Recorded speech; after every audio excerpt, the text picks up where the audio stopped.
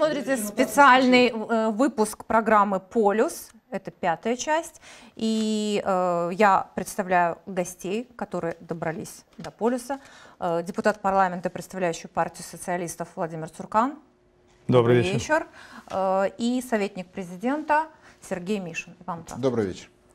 Ну, если позволите, э, больше, конечно, для телезрителей, потому что, возможно, вы знаете. Э, я начну с новостей, которые только что вот э, пришли на ленту к нам.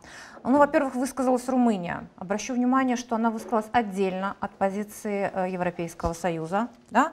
Румыния призвала уважать волю граждан Молдовы, выраженную на парламентских выборах 2019 года в феврале, и призвала все политические силы уважать демократический процесс и волю граждан. Также они отметили, что граждане Молдовы нуждаются в согласованном политическом решении, которое обеспечит им процветание и продолжение реформ. Э, есть реакция президента Дадона на э, то, что на заявление Европейского Союза. Значит, президент Молдовы Игорь Дадон приветствовал это заявление. Э, значит, и э, принятый молдавским парламентом, включая формирование правительства, и выразил готовность работать с легитимным правительством под руководством Майи Санду, за которое проголосовало парламентское большинство. В свою очередь хочу вновь подчеркнуть открытость и готовность администрации президента к слаженной работе со всеми ветвями власти, в том числе с парламентом и правительством. На этот час, кроме того, у нас есть э, реакция госпожи Санду, премьер-министра Республики Молдова. Санду поблагодарила ЕС, в свою очередь, за поддержку э, заявила, что мы приветствуем решение Евро, э, Европейского комиссара и э, это еще один аргумент для предыдущей власти мирно передать власть. Мы уверены, что в скором времени мы получим очередные слова поддержки от наших других международных партнеров. Господа, сложный был день сегодня. Мы э, весь день работали в прямом эфире, приходили новости, мы понимали, что ситуация в стране, она на самом деле волнует наших граждан, потому что мы видели по количеству просмотров, потому какие вопросы нам задавали. Вот давайте так, к этому часу. Вот характеризуйте, что это, Владимир Иванович. Вы знаете, э, говоря об этом часе, я э, почему эмоционально, может быть, в начале передачи кто-то услышал, что я спешил. Мы поняли, потому что, что я действительно недавно... только что вернулся из района. Так. Буквально, потому что люди позвонили с Юга Республики и говорят, подъедьте, объясните. Мы были сегодня готовы по своей собственной инициативе, без всякого призыва, без так. ничего, возмущенные выехать туда. Причем, вы понимаете, люди, которые говорят, что мы готовы были без всякого призыва возмущенно приехать, они ехали достаточно такие загруженные эмоциями. И мне поэтому пришлось выехать в район и просто э, по целому ряду сел и в районном центре мы переговорили с людьми. И я объяснил, дорогие друзья, во-первых, спасибо за поддержку, да. потому что они э, видели, наблюдали, при всем при том дефиците информации, который, к сожалению, возник э, вчера при утверждении правительства в силу чисто технических, казалось бы, причин, да, потому что начиная от того, что недостаточное освещение в самом парламенте, звуковое обеспечение и так далее, и так далее. Все это затруднило и средства массовой информации, естественно, работать там и освещать. Но они, э, люди, э, очень приветствовали тот факт, что э, произошло э, вчера. Вы имеете в виду формирование правящей коалиции, формирование правящей коалиции. И так далее? Ну, давайте так, не будем называть это правящей коалицией. А как? А будем говорить формирование Э, временного сотрудничества. Так. Кстати говоря, это соглашение так и называется, соглашение о временном сотрудничестве. Так. Э, значит, э, ну, здесь не, не важны слова, главное содержание и действия, потому что представители блока АКУМ, они всячески уклоняются от понятия коалиция. Мы говорим о том, что да, мы готовы сотрудничать вместе. То есть создали то самое необходимое большинство в парламенте, 61 голос, которое позволит, а, и позволило сформировать правительство угу. и дальше начать принимать те законы, которые считаем необходимыми и правая сторона, то есть блок АКУМ, угу. и мы, э, фракция партии социалистов, партия социалистов считает необходимым эти законы принять. Но Здесь очень важно, наверное, все-таки еще раз отметить и подчеркнуть. И я именно это сегодня объяснял людям, что все то, что произошло вчера, это абсолютно законно и легитимно. И вписалось абсолютно в те сроки конституционные, которые предусмотрены Конституцией. Три месяца. Более того, я им сказал, кстати говоря, тот самый трехмесячный срок истекал сегодня. Сегодня 9 июня. 9 июня. Так. Ну, я не знаю, мы, может быть, к этому не может быть, а точно, наверное, должны Ой, так вернуться. много вопросов. Э, я думаю, что мы постараемся... Должны э, вернуться, потому что людям это надо понимать. Что все законно. А вы знаете, у меня такое возникает э, ощущение, что ну, членам Конституционного суда это не нужно объяснять. Мы понимаем, почему они такое решение ну, приняли, потому что они абсолютно показали свою ангажированность тут даже маломальски образованному юристу понятно, в чем разница между дни как единица исчисления, месяц как единица исчисления и годы. То, что предусмотрено в Конституции. Три разных точки отсчета. Дни для определенных событий и э, действий э, структур власти, месяцы и годы. Ну, вернемся, наверное, к этому э, вопросу. Да, мы сделаем все возможное, чтобы мы обсудили сегодня все важнейшие вопросы. Господин Мишин, ну вам прежде всего слово по поводу сегодняшнего дня. Мы с этого начали. Ну, э, вы знаете, сегодняшний день еще раз показал, э, что то временное сотрудничество, как говорил коллега, вчерашнее заключенное, начало, наконец-то, привело государственные органы в действие. Угу. То есть, что я имею в виду? Ну, мы последние, скажем так, лет пять э, уже не видели, чтобы так четко, красиво, соблюдая закон, работал угу. парламент.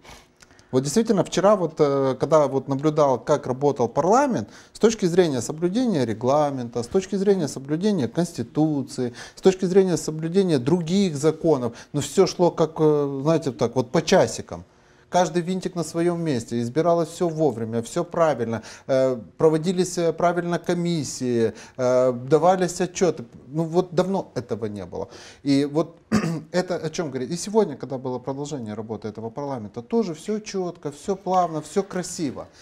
И это говорит о чем? Что наконец-то у нас Республика Молдова, я надеюсь, по крайней мере, становится на правовой путь хотя бы. Вот эти два дня показали, что мы стали на соблюдение Конституции, на правовой путь. И это очень хорошо. И вот э, это самая главная мысль, которую должны понять наши граждане что мы становимся на правовой путь. Если мы становимся на правовой путь, значит у нашей страны э, будет будущее, и значит мы выходим из того правового беспредела, который угу. мы имели последние 10 лет. Кстати, о беспределе. Вы хотите говорить про легитимность, вы хотите сказать, что все это было легитимно, и доказать это. Я понимаю вас, и я разделяю э, мнение и ваше, и тех юристов, которые э, на самом деле, вот весь сегодняшний день говорили, что на самом деле это есть. Легитимность есть у президента, у правительства, у коалиции и у парламента. А вы в самом деле считаете, что э, эти вопросы так уж сильно беспокоят э, представителей демократической партии? Вы полагаете, что дело только в этом или при любом раскладе они вели бы себя так, как они бы себя вели, то есть в свою пользу? Вы знаете, задача их ясна. Не знаю, э, понимать это с точки зрения человеческой, или человека, который терпит поражение, или э, группу людей, которые терпят явно поражение. Но задача их ясна. Удержаться у власти любым путем. Ключевое слово «любым», которое подразумевает и незаконным путем. Именно для этого они и э, предусмотрели вот эту вот самую заковырочку, который, от которой дальше пошли танцевать и дошли до сегодняшнего беспредела. Смотрите, президент обратился в Конституционный суд с просьбой обозначить, с какого момента, прошу иметь в виду это, не что такое три месяца, а с какого момента исчисляется э, необходимость обращения его в Конституционный суд с точки зрения дальнейшего возможного распуска парламента. С момента валидации мандатов или с момента первого заседания. То есть 9 марта валидация мандатов, 21 марта первое заседание парламента. Что сделал Конституционный суд? Кстати говоря, в 2013 году по этому вопросу Конституционный суд дал достаточно обширное разъяснение в виде решения, где четко тоже определял, что вот именно с момента валидации мандатов э, мандат правительства прекращается, то есть возникает необходимость формирования правительства. То есть 9 марта в нашем случае. И это начинается точка отсчета тех трех месяцев для того, чтобы определиться, не создали правительство в течение трех месяцев, значит, президент может обратиться в Конституционный суд для получения разрешения на распуск парламента.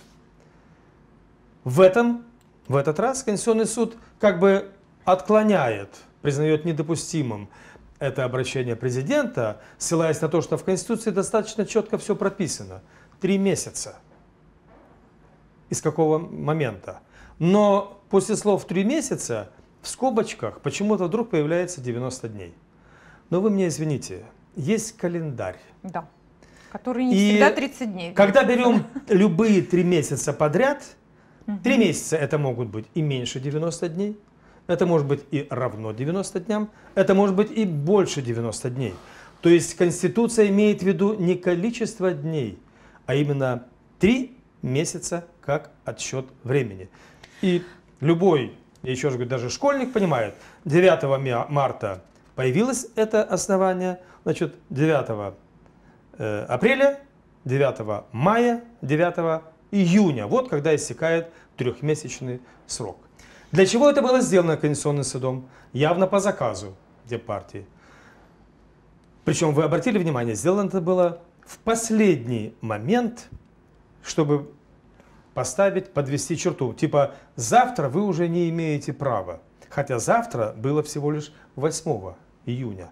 То есть они, когда речь зашла о досрочных выборах, они когда хотели вот поэтому они, поставить точку. Они себе создали такую угу. вот так называемую искусственную, неконституционную Э, почву для того, чтобы признать типа того, что вот то, что произошло 8 июня вчера в парламенте, это якобы неконституционно. Поняла. Хотя именно в этот день вчера и были решены все вопросы, связанные и с руководящими органами парламента, и, что самое главное, создание правительства.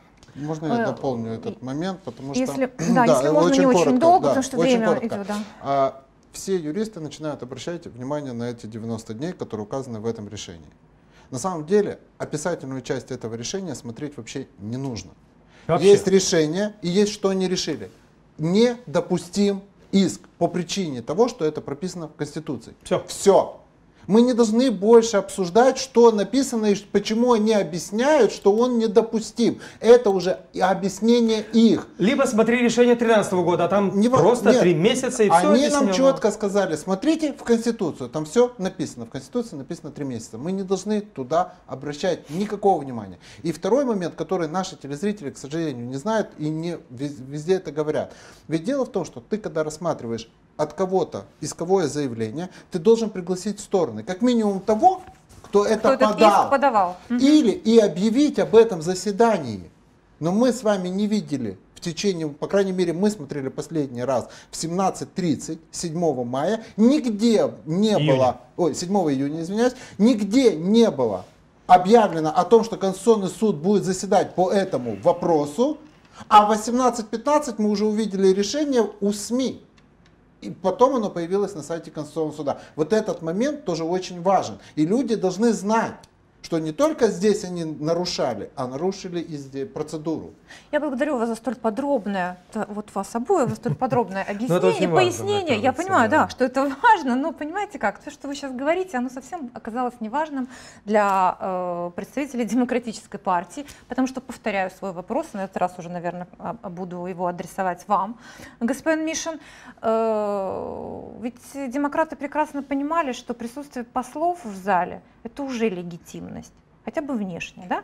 И вот то, что вот они сделали после их присутствия, и те решения Конституционного суда, это тоже вопреки этой легитимности. И они Но это делали. от этого. И, да, оттолкнулись, но они это делали. В принципе, это было им, им уже не так важно. Э, вот вы согласны, во-первых, с этим? Нет, э, я очень согласен, тем более помимо того, что там присутствовали послы, да, так. как мы говорим, трё, три основные стороны, которые заявили еще до заседания парламента о том, что если этот парламент соберется и будет принимать решение, это легитимно. Это выступил и посол Евросоюза, и посол Америки, и посол Российской Федерации. Присутствовали на этом заседании не только эти три посла, там еще, еще 15, да, еще 15 да, да, да. послов, дипломатов присутствовали на этом заседании. И это дает э, момент нам э, говорить о том, что это легитимно. Но э, Демпартия в данном случае попала в агонию. Ну, и у них единственное, у них сегодня для того, чтобы потом начать определенные юридические процедуры, был только единственный шанс обратиться к Конституционному суду и получить от него решение. Ведь мы с вами должны понимать, что те решения, которые выходили 8 числа, я сейчас не буду заходить в процедуру, что они, допустим, э, решение о не признать постановление парламента об избрании э, Зинаиды Петровны Герчанной председателем. Оно еще не было подписано, не, они то, а его, они даже текста не знали, они не знали номера. Это а, обратил на это внимание господин Ешанов. Ну, как генеральный секретарь Минюста, начнем С, э, с того. Так, помимо этого, они объявили неконституционными декреты президента, тоже без номеров. Ребят, извините, вы готов... я понимаю, для чего вы готовили эту почву. Для того, чтобы объявить якобы, что происходит государственный переворот, потому что есть решение Конституционного суда. Не надо из Конституционного суда делать богов.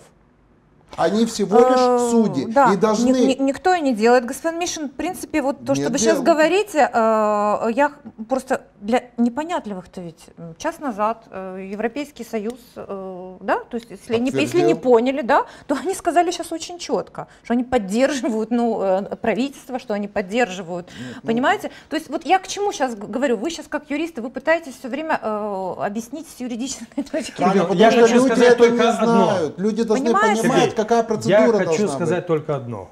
Будьте уверены, эта позиция Евросоюза, да. она однозначно основана на консультациях Евросоюза с Венецианской комиссией и с судом э, европейским по, по правам, по правам человека. Это однозначно.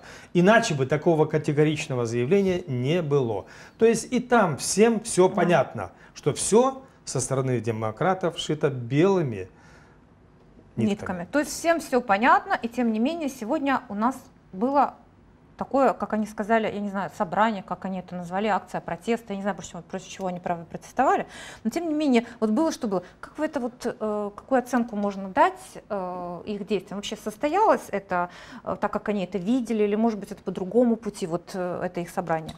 Ну, понимаете, э, у нас э, вот это митинги, как мы говорим. Или митинги, или как да, там, значит, да. В принципе, уже становится нормой где-то, да. А, иногда эти митинги превращаются в какую-то обязаловку для какой-то части населения. И в данном случае то, что произошло сегодня, это была обязаловка, которая не была реализована вчера, потому что, а точнее позавчера, потому что это был рабочий день для госслужащих. Потому что в основном упор Демпартия делала на свой административный ресурс. Люди не хотели и вчера э, массовый был отказ, и сегодняшняя э, так называемая массовость, угу. ну, по оценкам МВД, где-то порядка от 5 до 7 тысяч людей вместо задекларированных 50 тысяч. Но дело даже не в цифрах, понимаете, а дело э, в сути этого так называемого мероприятия. Потому что то, что сегодня я услышал от людей во время выезда срочного в район, они мне сказали, вы знаете, люди с одной стороны были довольны, что они приехали в Кишинев, разбежались по городу. Погуляли по рынкам, по рынкам магазинам. Что-то купили. А с другой стороны, были возмущены, что их использовали. Просто использовали. Потому что э, всем потом было понятно, э, для чего это было сделано, э, типа показать какую-то массовую поддержку и так далее. Всем понятно прекрасно, никакой массовой поддержки нет, наоборот, резкий спад этой самой так называемой даже административной поддержки для э, авторитета так называемого Демпартии. И сегодня люди уже прекрасно понимают, не вдаваясь даже в те тонкости, в которые мы сейчас попытались э, было вдаться, всем прекрасно понятно, наступил конец этой эры. И это уже не наше только мнение и оценка. Это вот и то заключение и мнение Евросоюза. Э, значит, вчера посол Евросоюза высказался, сегодня уже очень, ну, самый высокий уровень Евросоюза высказался на эту тему, проконсультировавшись э, Венецианской комиссией и с э, Европейским судом. И завтра, поскольку есть разница в часовом полюсе, я уверен, что завтра мы получим не менее, наверное, категоричную, вот нет, так почему-то кажется, позицию и э, Вашингтона. Вот. Так, то есть, потому что многие задают вопросы. Вы сейчас, Владимир Иванович, говорили, что всем понятно. А демократам это понятно? Э, понимаете, э, э, понятие демократы, как представитель Демпартии, я так понимаю, да? Да. Оно слишком Руководителя. Вот Речь идет о группе, которым это все понятно, но они не хотят. Это, знаете, есть конвульсия. Конечно, есть еще понятие цивилизованный, цивилизованное поведение. Проиграл, так делается в Европе, кстати говоря, о которой они так много говорят. Так делается. Проиграл, цивилизованно передай мир на власть. Потому что в конечном итоге от того, что ты проиграл, не должны страдать люди. Ведь если бы, не дай бог, сегодня те люди, которые меня позвали в район, вышли бы сюда, что бы произошло? А это был бы не один район. Это было бы, в один район. Это было бы ужас. Это был один район, который... Нет, мне звонили и другие районы. Нет, так я говорю... Я просто в ближайший да. выехал и с ними побеседовал. Я э, не знаю, что дальше может произойти. А мы сейчас поговорим. Я бы просила вас не забегать Окей. вперед, потому что что дальше, это, это самое Хорошо. интересное в этой истории. Вы как полагаете, руководство Демпартии вот это понятно, что на самом Нет. деле поддержки-то у них уже нет? Э, им понятно. И первый звоночек, такой колокольчик, это был еще в пятницу, когда они пытались первый... Э, то есть то количество людей, которое сегодня приехало, э, насколько я знаю, они планировали вывести в пятницу, то есть в рабочий день. А уже на субботу, воскресенье, выходные должно было быть намного больше. Угу. И первый вот этот колокольчик о том, что та поддержка, которая была ранее, уже проваливается, ее нет показала еще в пятницу об этом. Вчера поэтому и было отменено. Ведь они отменили на вчера митинг, причем официально. Почему? Потому что они попытались сконцентрировать это все на сегодняшний день. Но и сегодня не до конца у них получилось. Поэтому я так думаю, что э, руководство Демократической партии сейчас, наверное, так. сидит и просчитывает все варианты, что им делать дальше. А давайте мы тоже просчитаем вот эти варианты. Мы этим занимались в предыдущих эфирах, я очень много услышала интересного. Вот э, да, потому что в агонии, в конвульсиях, что только сегодня не слышала. А ведь на самом деле что-то будут предпринимать. Вот э, что это может быть? Ну, вы знаете, это я, я сейчас высказываю чисто субъективное э, мнение, да. А, по моему, есть у них, скажем так, три сценария, да. Первый сценарий, это как предложил господин Цуркан, просто мирно отдать власть и уйти в сторону. Уйти в сторону я имею в виду в каком плане? Уйти в оппозицию. То есть вот как э, это все время находилась партия социалистов, э, некоторые представители блока АКУМ. То есть сидеть 4 года, выжидать э, и смотреть, что происходит, и как, побыть оппозицией. Да? Вот есть такой первый вариант. Да? Второй вариант – это все-таки продолжить и силовыми методами попытаться узурпировать власть. То есть э, не пускать э, новых э, министров в свои кабинеты, в министерства, настраивать госчиновников. То есть вот это есть еще один вариант. И третий вариант да, у этой группы людей, которые я вижу сценарий, mm-hmm. да, это просто тихо уйти, так, чтобы их в стране никто не видел. Вот я на сегодня, да, вот я на сегодняшний день, честно говорю, я вижу только эти три сценария. Вот четвертого пока не вижу. Каким сценарием они пойдут, сегодня очень трудно сказать. Вот второй, э, второй сценарий, о котором я говорил, да, вот именно силовой метод, э, я бы на их месте очень сильно постерегся. Ну, почему? Вот были люди в эфирах, говорят, им нужна дестабилизация. Нет, нет, нет. Вот нет. нужна. Людмила, и они, и Людмила, они вот, вот смотрите, Владимир Иванович с чего начал эфир, да, почему он опоздал сюда? Потому что он был в, в одном районе и пытался успокоить людей. И вы поймите, сегодня во всех районах были люди, которые пытались успокоить людей, которые хотели на маршрутках, на рейсовых автобусах и чуть ли не пешком приходить в Кишинев. Это я говорю о внутренней ситуации. И поверьте, та дестабилизацию, которую они устроят, они просто не понимают, во что оно выльется. Не хватит им тех начальников в МВД, остановить это все. Поэтому тут я бы на такой шаг не... Ну, это плюс, вы бы, но мы нет, сейчас плюс, говорим, да. Плюс к этому угу. есть международное признание в виде Европейского Союза. Мы понимаем, что, скорее всего, и у Америки это появится, и у э, России это появится завтра. Да, а, в то же время, а в то же время господина Плохотнюка спрашивают, долго будет вот все это продолжаться? Он говорит, а мы идем до конца. Ну, опять, понимаете, конец, вот конец это, у каждый раз, э, понимаете, конец люди, каждый разный. Вот, да, да, всегда да. каждый разный, поэтому... Владимир Иванович, вы как полагаете? А, вы знаете, э, я думаю, что они сегодня очень рассчитывали на то, что кто-то э, приедет из возмещенных, и очень рассчитывали на то, что произойдут столкновения. То есть та самая дестабилизация, о которой очень я говорю. на так. это рассчитывали. Обратите внимание, э, в основном практически входы всех министерств, ну, за исключением Минюста. Ну, оно рядом с парламентом, может быть, поэтому. Значит, э, везде были срочно ночью под утро установлены палатки. Сидели самые разные люди. Возле МВД качки и прокуратуры. Возле другого министерства, допустим, я, я просто проехал утром, внимательно изучил ситуацию, посмотрел. Просто пожилые люди, которых привезли. Э, я так где-то слышал, что, оказывается, господин Шор постарался тоже, подтянул пенсионеров за определенную денежку. И бабушки спали на плече друг у друга на скамеечке перед входом в министерство. Э, чтобы приехала разъяренная толпа, а вдруг на кого-то наступит. Понимаете? Но это же цинизм неимоверный. Я думаю, что есть еще четвертый выход из этой ситуации. А именно, если действительно Э, протрезветь, что называется, и понимать, что если ты декларируешь, что ты хочешь добра для этого народа и для страны, то не просто мирно передай власть. Да, уйди в оппозицию, но займи ту самую так называемую э, конструктивную позицию в этой оппозиции.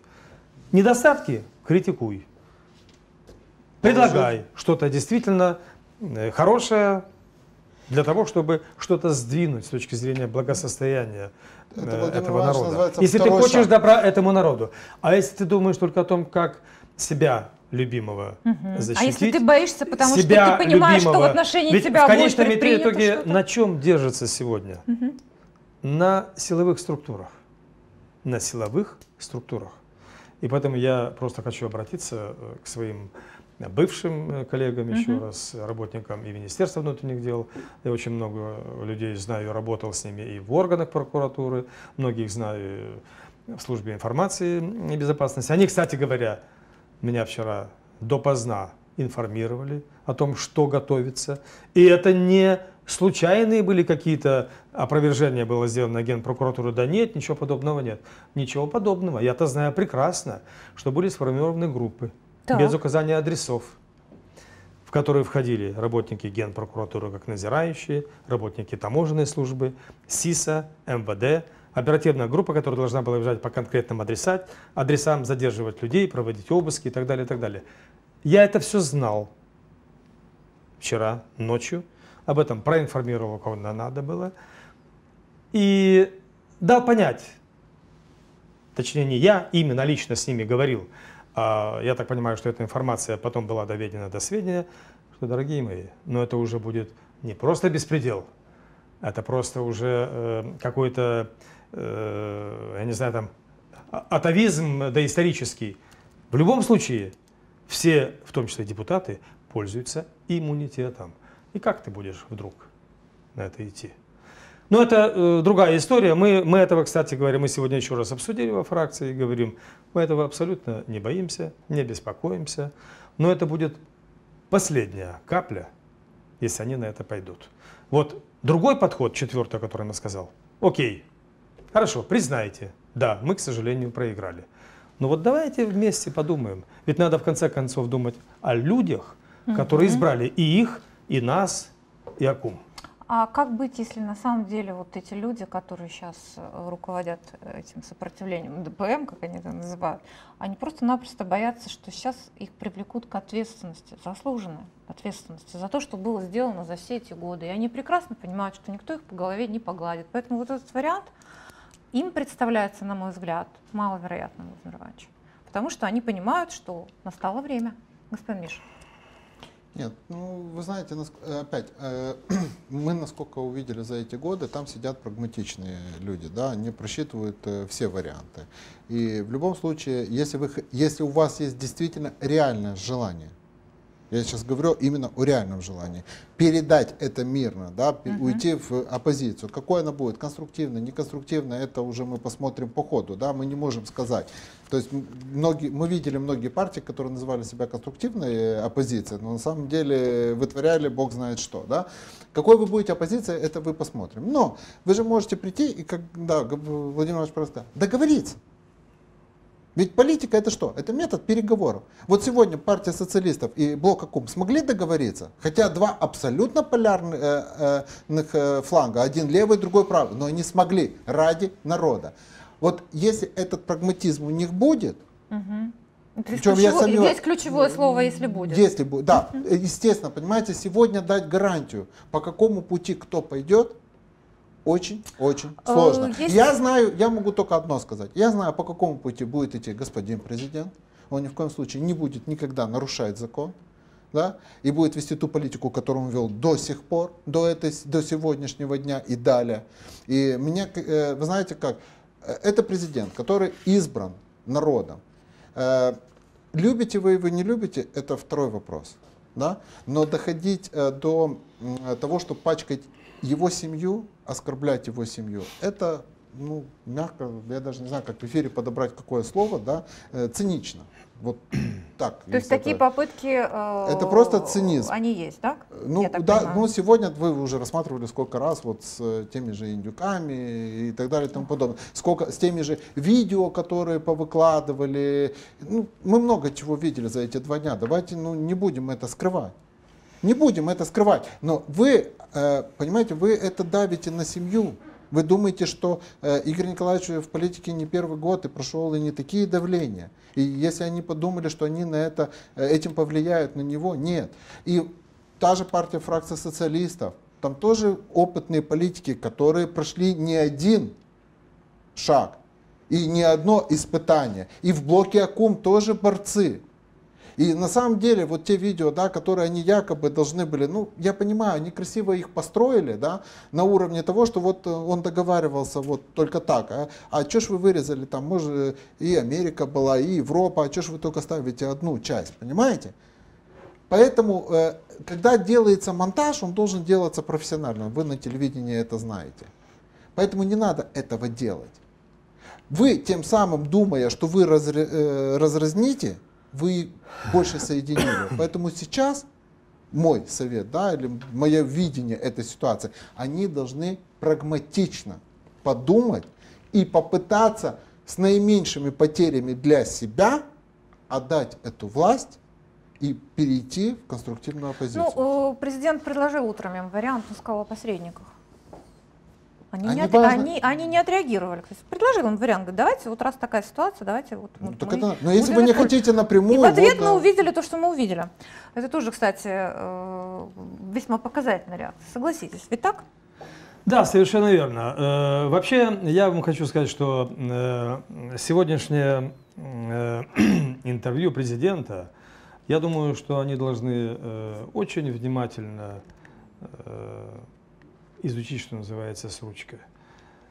Во-первых, и, кстати говоря, все люди прекрасно поняли, что все эти слухи, разговоры о каких-то там закулисных подковерных договоренностях, каких-то там зависимостях и так далее, и так далее, сегодня или вчера, давайте так, сегодня еще раз убедились, что это блеф.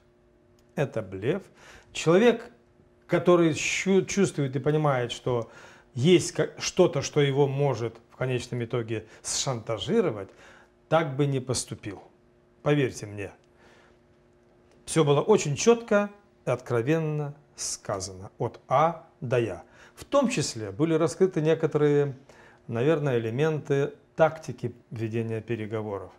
Потому что переговор это не только сели друг другу, честно, откровенно сказали. Это где-то надо немножечко где-то чуть-чуть больше, что-то скрыть, что-то подбросить. Ну, такова политика.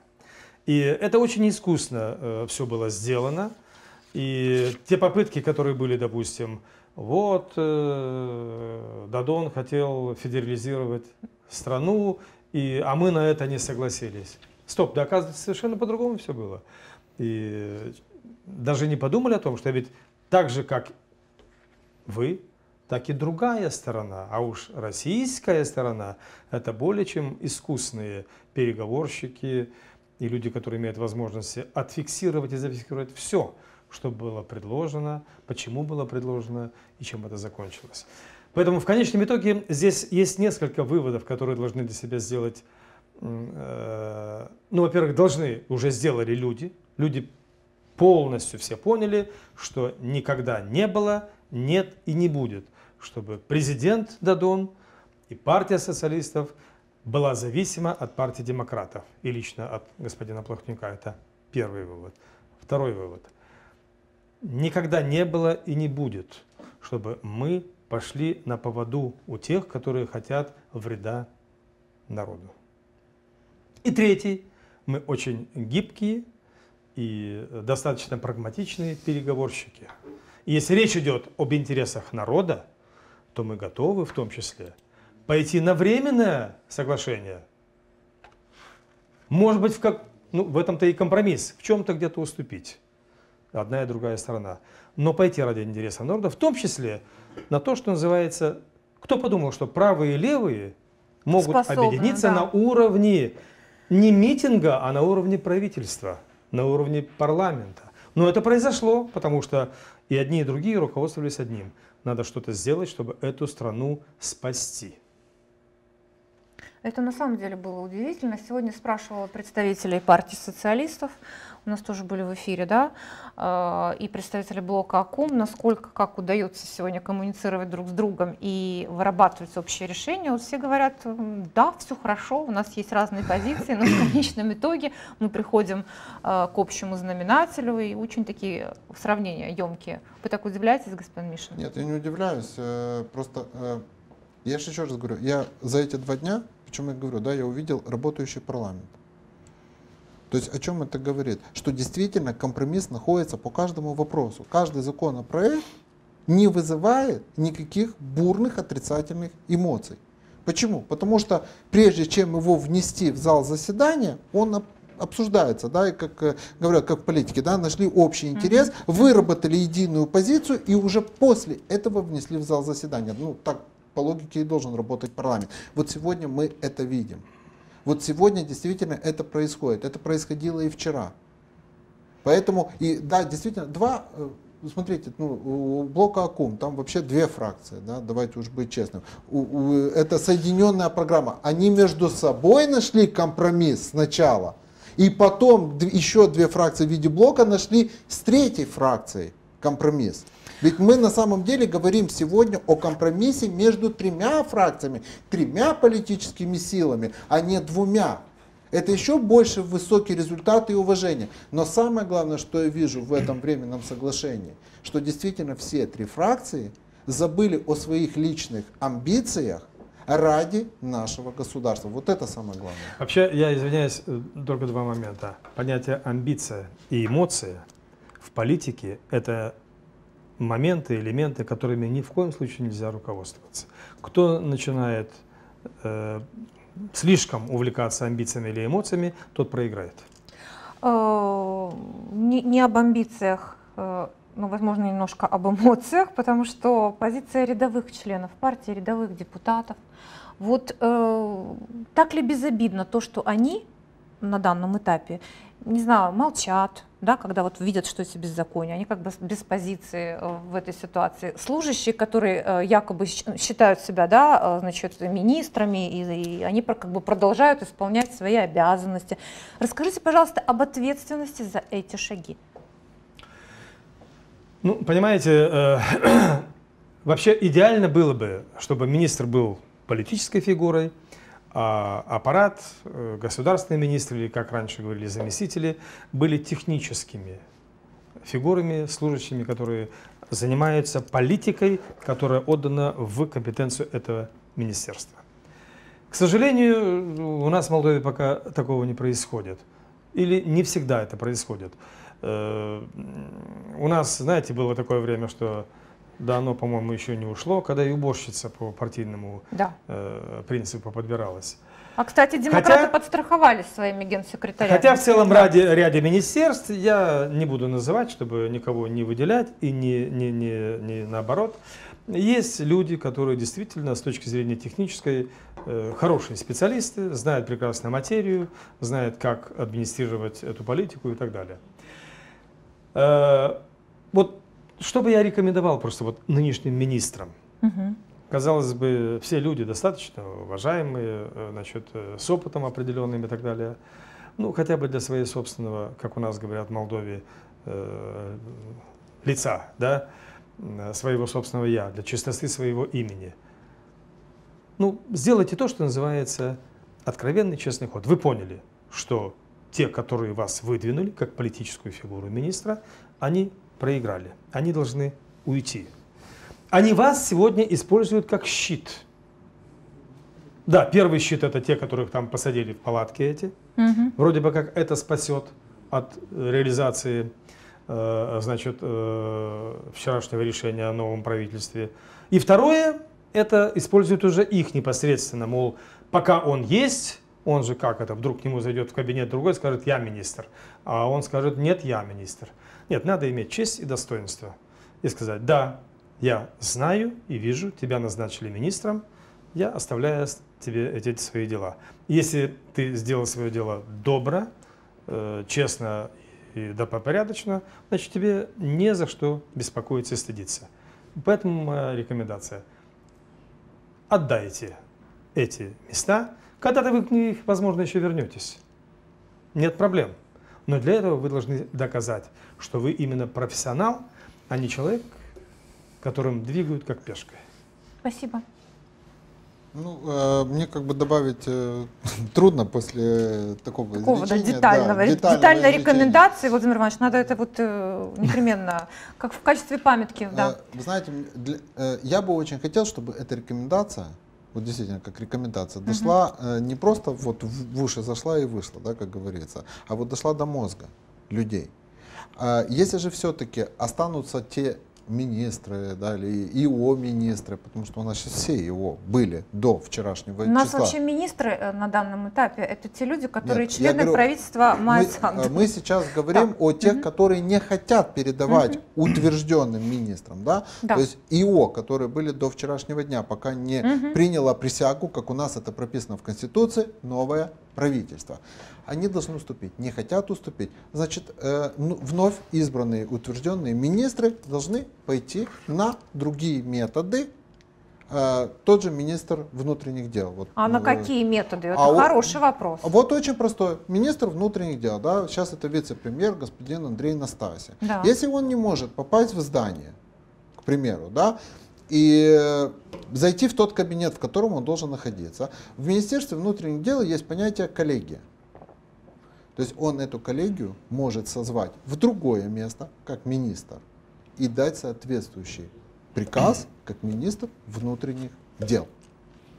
И вот я хочу посмотреть на тех офицеров, не начальничков, которые там находятся, а на офицеров среднего и низшего состава, которые этот приказ не выполнят. А, мы сейчас а я скажу, таких будет спросим, мало. какой экс-министр внутренних это мое да. Да. да. Я не буду привязываться к Министерству внутренних дел, чтобы... Э, я хочу сказать просто, э, наверное, другое маленькое юридическое замечание. Со вчерашнего дня, после принесения приказ, э, присяги, все те, кто был, сегодня уже не министр. Да. И они зарплату уже не имеют права получать.